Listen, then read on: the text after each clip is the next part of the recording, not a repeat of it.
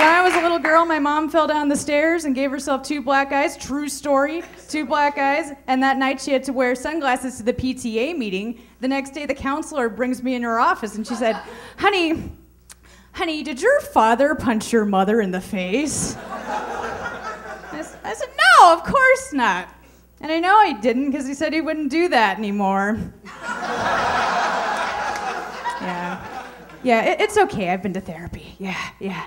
It's uh yeah, so my parents are giving me a lot of pressure to have children already, you know, and I, like I think pregnancy looks interesting, you know, because you can eat whatever you want, you can wear your slippers in public, you can make irrational demands and people have to listen.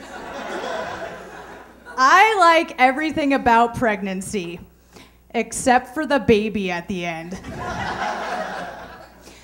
If I could have all the fun of pregnancy without the lifelong commitment, sign me up. You know, my, my ideal scenario is about nine and a half months of pregnancy, about five minutes of labor, and then out pops a delicious ham. Mmm, delicious.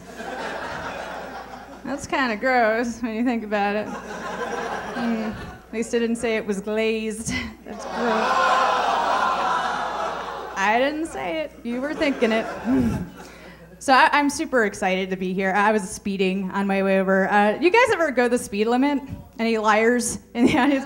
Yeah, see, I've got a theory. You show me someone going the speed limit, I'll show you someone with weed in the car. Yeah, we've done double blind studies, it's true. Some of you that were laughing a little hard at that, uh, I think some of you are going to be driving the speed limit tonight. I know I am.